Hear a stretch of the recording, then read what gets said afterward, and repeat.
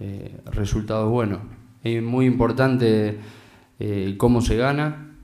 Eh, en realidad lo había escuchado una vez que uno dijo eso y me gustó, no es que entienda mucho de... Y creo que a la torre, no me acuerdo.